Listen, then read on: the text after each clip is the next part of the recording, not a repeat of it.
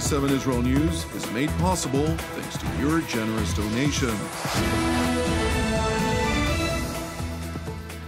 Shalom, good evening. This is TV7 Israel News broadcast to you from Jerusalem. And in today's top stories, the Israeli Navy, in cooperation with the Israeli security agency Shin Bet, thwarted a naval smuggling attempt destined for the Hamas controlled Gaza Strip off the coast of Egypt's Sinai Peninsula. Israeli Prime Minister Benjamin Netanyahu held a meeting with the chairman of Sudan's Transitional Military Council, Lieutenant General Abdel Fattah al Burhan, during which the two leaders agreed to begin cooperation with the aim of normalizing relations between Jerusalem and Khartoum. EU Foreign Policy Chief Josep Borrell warns that unless all sides agree to US President Donald Trump's so called deal of the century, peace would remain unattainable. The Israeli Navy, in cooperation with Israeli security agency Shin Bet, thwarted a naval smuggling attempt destined for the Hamas controlled Gaza Strip off the coast of Egypt's northern Sinai Peninsula. According to details from the operation that were cleared for publication this morning, some three months ago, the maritime intelligence operators of the Israeli Navy located the suspected vessel and dispatched Navy troops to pursue it. The vessel was successfully captured, and two terror operatives aboard were apprehended and then transferred to security forces for further questioning. בקריות השליטה הימית זיהו את כלי השיט החשוד בהברחה, הכווינו את כלי השיט אשר פעלו לסיכול ההברחה תוך כדי הפגנת מקצועיות, חתירה למגע וקור רוח. According to the Israeli military statement, the investigation of the terror operatives indicated that the seized weapons were meant to be used by the naval commando units of the Hamas terror organization, while adding that thwarting activity of this kind assists in preventing the ongoing armament of Hamas in the Gaza Strip and degrade the force buildup capabilities of Hamas's commando naval unit. כוחות זרוע היה משקיעים מאמצים רבים, מבצעיים ומודיעיניים, על מנת לאתר ולסכל ניסיונות הברחה בדרך הים. סיכול ההברחה שהתבצע במקצועיות רבה פגע ישירות ביכולת החמאס להתחמש ולהתעצם מבחינת הקומנדו הימי שלו.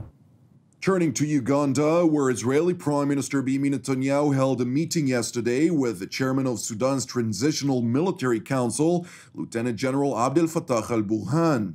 The unprecedented meeting, which was brokered by the Gulf Kingdom of Bahrain and was under the auspices of Ugandan President Yoweri Museveni, lasted for about two hours, after which the two leaders agreed to begin cooperation with the aim of normalizing relations between Jerusalem and Khartoum. The Israeli Leaders Bureau released a statement that read, Prime Minister Netanyahu believes that Sudan is moving in a new and positive direction and reported that to U.S. Secretary of State Mike Pompeo. The statement further noted that Burhan hoped to help his country modernize by removing it from its isolation, as the Republic of Sudan, which has a history of supporting jihadist organizations, including Al Qaeda, is listed by the United States since the early 90s as a state sponsor of terrorism. An Israeli intelligence source who spoke to TV7 on condition of anonymity explained that Sudan is keen on improving its relations with the United States and is hopeful that a rapprochement with Israel would consequently change Washington's attitude towards it. Furthermore, normalizing relations between the two countries would likely allow Israeli flights over Sudan, which, in addition to other unspecified agreements, would greatly shorten Israel's direct travel time to its South American ally Brazil. It is important to mention that Netanyahu's one day trip to Uganda included a delegation of 45 officials and business people, including Mossad director Yossi Cohen. Furthermore, both Saudi Arabia and Egypt were informed prior to the meeting. Meanwhile, Prime Minister Benjamin Netanyahu also held a separate meeting with Ugandan President Yoweri Museveni.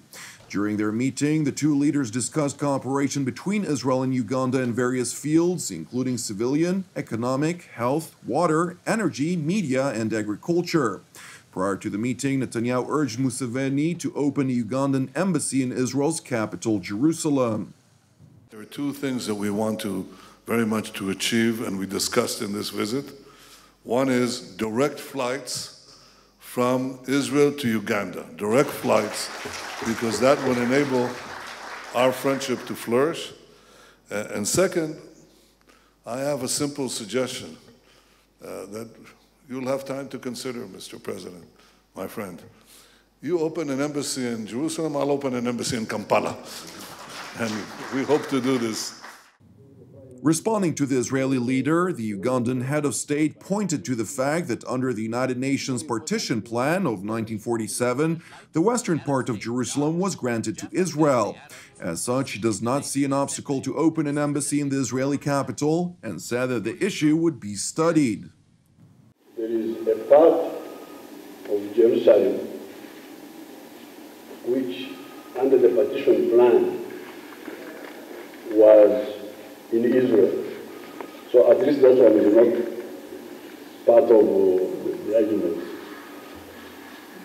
And uh, if a friend says, I want your, your embassy here, rather than there, I don't see why we, we are studying, we are, we are really working, we are studying that.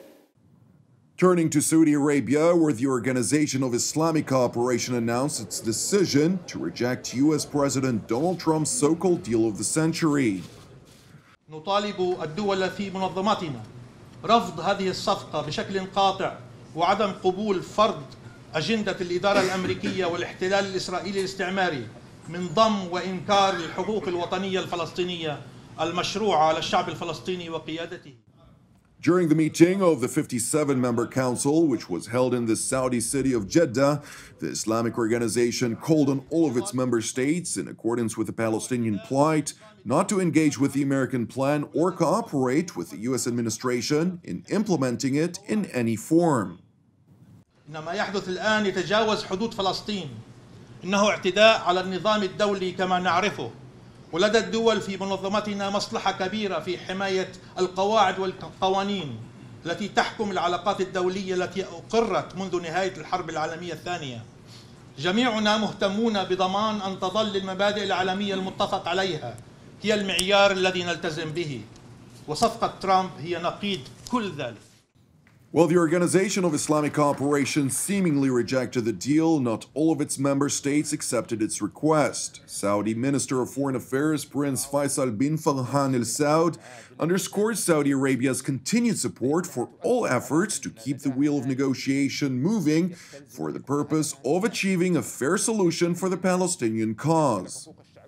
في الوقت الذي تدعم فيه المملكة كل الجهود والمبادرات الساعية لدفع عجلة التفاوض للتوصل إلى حل عادل وشامل للقضية الفلسطينية فإنها تؤكد على أن نجاح هذه الجهود يستلزم أن يكون هدفها النهائي وتحقيق حل عادل يكفل حقوق الشعب الفلسطيني في إقامة دولته المستقلة وعاصمته القدس الشرقية وفق الشرعية الدولية ومقرراتها.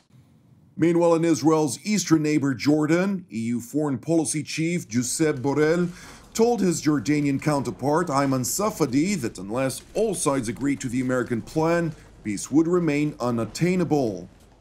We have had about the new proposal brought by the United States on the so-called peace plan for the Middle East.